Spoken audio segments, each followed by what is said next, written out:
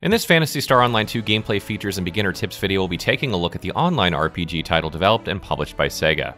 The game is free to play and was recently ported from Japan to America. It is currently available on Xbox One, Windows 10, and Steam. This is a sponsored post. Please note sponsored posts are only sponsoring coverage. Our opinions on the game are our own and are not affected by any business relationships with developers or publishers.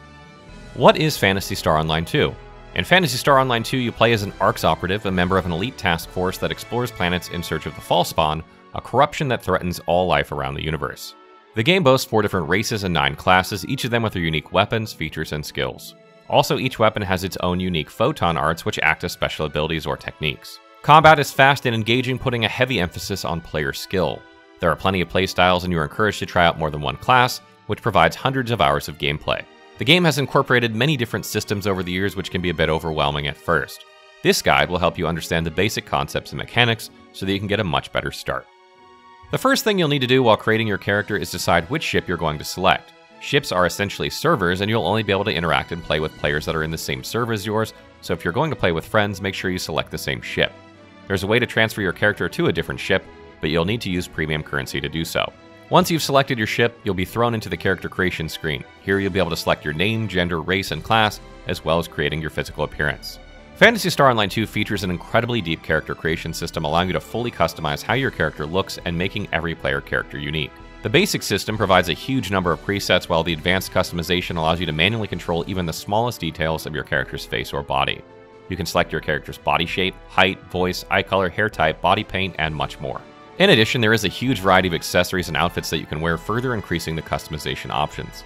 Many of these accessories and outfits are free, while others can be purchased using premium currency or earned by completing different challenges. If you want to jump right into the action, you can always visit the salon later on to change how your character looks. To do so, you'll need to use a salon pass, which can be acquired by playing the game or by using premium currency. The only things that you won't be able to change are your race and gender, so make sure to select what you want during character creation. If you want to experience other races, you can always create a new character. There are four different races that you can select from human, Newman, Cast, and Deuman. The main difference between the races is how they look, but they also have slightly different stats. This, however, has very little impact during gameplay, so I strongly recommend that you pick a race based on what you want and not based on their stats. Human. Regular human beings make great ARKS operatives due to their versatility and adaptability. Humans are great all rounders and are fit for all classes. They have a great balance between physical strength endurance and photon arts. Newman, the result of genetic manipulation of select humans to create a race that excelled in photon aptitude, Newmans are easily identifiable by their sharp and pointy ears. Newmans are masters of the photon arts, making them the best choice to both use and resist photon techniques. They have lower health and dexterity than other races, making them more vulnerable in hand to hand combat. Cast. Formerly humans or Newmans with weak constitutions but strong photon aptitude, casts are the result of the transplant of doomed individuals into stronger artificial frames to enable their survival. They excel at ranged or close quarter combat, but they have lower photon powers. They are mostly robotic and can use unique cast parts which look awesome. Deumans. Deumans are members of an artificially created race with high potential for the manipulation of photon arts. They have the highest attack values and the lowest defense values, making them sort of a glass cannon. They are distinctive for both their horns and dichromatic eyes. Class is the most important choice that you'll make for your character as it determines your weapons as well as your skills. You can have many weapons equipped at the same time and quickly swap between them during combat, providing you a lot of flexibility. Each weapon type has its own unique fighting style, range, and photon arts, creating a lot of variety between the different classes. Each class has its own unique skill tree that can be unlocked as you level up. Skill trees are mainly composed of passive abilities, but there are some active skills as well. Remember that you'll need to visit the class counter NPC to assign your skill points when you level up. Make sure to plan ahead on how you'll invest your points, as resetting the skill tree will require you to spend premium currency.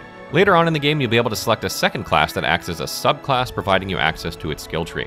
However, you'll only benefit from its passive abilities, so make sure to select something that synergizes well with your main class. There are 9 classes that you can select from, but during character creation, you'll only get the option to select from 6.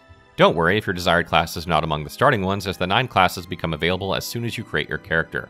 You can change your class as many times as you want at the main hub, by talking to the class counter NPC.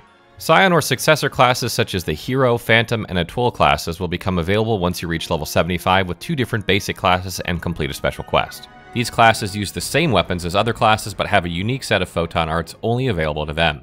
In addition, if a player is using a Scion class, they won't be able to use a subclass. I strongly recommend that you complete all the class practice quests that can be found in the quest menu or by talking with Rebecca in the main hub. They don't take long and will allow you to understand how each class works and what they're good at. The classes available during character creation are Hunter, Ranger, Force, Braver, Bouncer, and Summoner, while the Fighter, Gunner, and Techer are only available from the class counter once your character is created.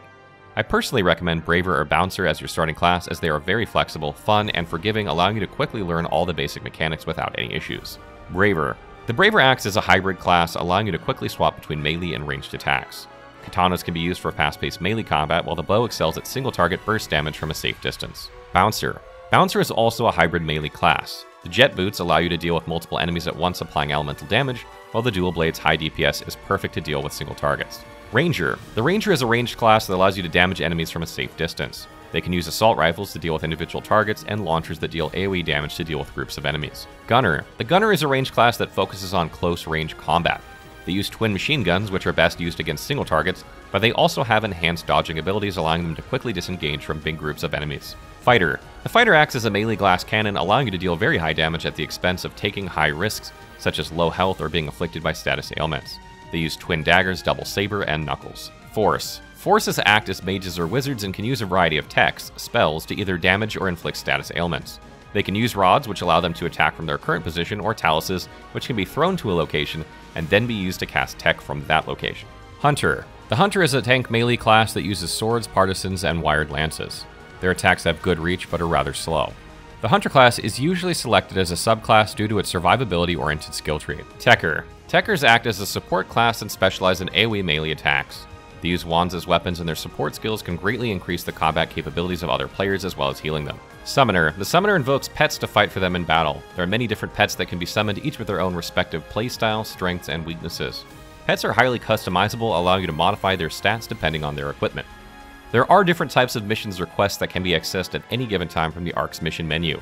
Here you'll find the main missions, daily missions, weekly missions, limited time missions, tier missions, and urgent quests. Once you accept a quest, you'll first board the gateway ship before reaching the actual mission. This acts as a small hub where you can prepare for the mission, recruit allies, store and withdraw items, as well as purchase consumables. There is a special drink menu where you can spend Meseta to acquire a special boost that will be available for this mission only. These are relatively cheap, so I highly recommend you take the one that suits best for your build before you embark on the actual mission. The main missions cover the main story of the game and teach you the core mechanics. I strongly recommend that you start off with these missions as they will not only provide you some tutorials, but they will also give you very good rewards that will help you quickly boost your character. Daily missions reset each day and usually consist of simple tasks that can be completed without much effort. If you complete all your daily tasks, you'll earn additional rewards, so make sure to check them each time you log in. You can also get daily orders by talking to the daily order officer and from many NPCs around the main hub. The daily orders rewards will vary depending on the NPC that provides them. Daily orders acquired from Fina will grant you Meseta, the in-game currency, and Daily Boost. Daily Boost is a passive that increases your experience and Meseta gain, as well as increasing the chance of acquiring rare drops. You can stack this up to 50% of Daily Boost, and it will decay at a rate of 5% per day. When you're starting out the game, you should start by completing the daily orders from Kofi, who can be found at the main hub. Completing her daily orders will unlock a great part of your character progression, including your level cap, access to certain areas, the mag acquisition, and subclasses. Weekly missions restart each week and usually require a little more work to complete but provide a lot of Meseta. Limited time missions are special missions that can only be completed while an event is running. They usually offer very good rewards and will sometimes require you to cooperate with other players. Tier missions can be completed to increase your mission pass tier and they restart weekly. The mission pass provides a variety of very good rewards and this is the main way to acquire them. Urgent quests. While you're playing the game, you'll sometimes get an alert about an urgent quest. These are special limited time quests that will require players to work together to complete. When an urgent quest is announced, the ceiling of the ship will become red, announcing the quest is being prepared. When the quest is ready, a percentage bar with a timer will be displayed on your screen, indicating the amount of time remaining to complete the quest. You can join the quest by talking to Rebecca on the main floor. Each urgent quest has its own level requirements as well as different difficulty levels. Some of the best loot can be found during these missions, so make sure to participate each time you can. You can also check the official Phantasy Star Online 2 website under the news section, and you'll find a calendar including the schedule for each urgent quest, allowing you to organize with your friends ahead of time. There are two types of equipment in Phantasy Star Online 2, weapons and units. Weapons determine your damage as well as your fighting style and photon arts, while units act as armor providing defensive values and sometimes greatly increasing your character's stats and offensive capabilities. Both weapons and units can be enhanced to further increase their effectiveness and unlock their potential, a special perk. To do so, you'll need to spend grinders and Meseta by talking to the item scientist located at the shopping plaza of the main hub. Photon arts are special abilities or techniques that once learned can be used during combat. In order to learn a photon art, you'll need to find the disc containing it. Once you learn a photon art, you can assign it to the sub palette to be quickly used during combat. Discs are usually found during missions or while exploring locations, and they can also be purchased from other players. There's a disc store located on the shopping plaza of the main hub, but it will only sell you basic discs. A mag acts like a passive equipment that floats next to you and aids you in battle. It will greatly boost your attack stats and will evolve depending on what items you feed it. I highly recommend that you read a guide before you start feeding items to the mag, as wrongly feeding it can greatly diminish the mag performance. You can use an item to reset your mag, but this will require you to spend premium currency. To acquire a mag, you'll need to first talk to Alfin on the main floor of the ship, and then talk to Kofi to access the daily order called Mag License Trial. Once the quest is complete, head into the mag menu to equip it. In addition to equipment, you'll also find consumables, discs, materials, and more items during your adventures. Your inventory space is limited, and you'll run out of space really fast unless you're careful. You can access your storage by interacting with a green console located in the main hub. Here you'll be able to deposit and withdraw items and equipment. If you're on a mission and you run out of space, you can send an item you're about to pick up straight to the storage, and to do so, you just click on it and select Send to Storage. You can also set auto pickup options from the in-game options, allowing you to focus on fighting without needing to worry about what you are picking up. If you're having trouble managing your inventory or find it tedious, you can further expand your character inventory by spending premium currency. Playing with other players provides a huge boost to experience and Meseta gain as well as item drop, so players are heavily encouraged to form parties and complete missions or explore locations. The alliance system acts like factions that players can join to obtain even more experience and rare drop boosts. You can join an alliance by talking to Falmer in the main floor, or you can join a faction by using the Visiphone terminals. While Phantasy Star Online 2 is a free-to-play game, you can spend real money to purchase premium currencies, star gems, and ARKS cash, which can be used to unlock some special perks.